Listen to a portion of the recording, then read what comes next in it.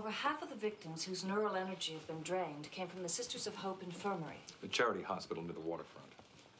If the aliens have been killing people there, well, someone might have noticed something unusual. And if they're moving among humans, and they must have taken on human form. The question is, how do we know who we're looking for? The tricorder indicated triolic activity from most of the bodies we've looked at. If the aliens left that sort of signature, they'll be detectable. You know, we might even be able to rig some kind of alien alarm system. Any luck contacting Data?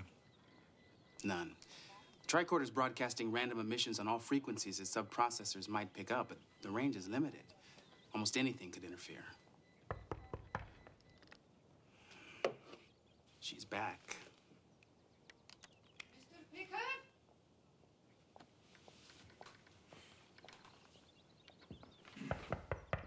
Yes, Mrs. Carmichael.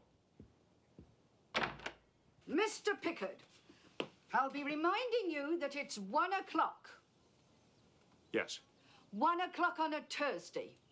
I'm sure I made it clear to you that the rent is always due, payable in full by one o'clock on Wednesdays.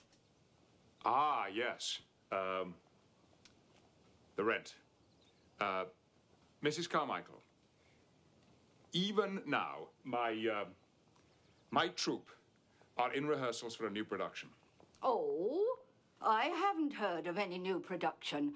What play is it? The play. A Midsummer Night's Dream. We have performed in uh, London, Paris, Milan. Milan. To sold out houses. I-, I can assure you, you will have the rent in full with a bonus. No, no, no, no. I've heard you silver tongued dibbles before. I'll have my rent in full tomorrow by one o'clock, or you'll be out performing on the street.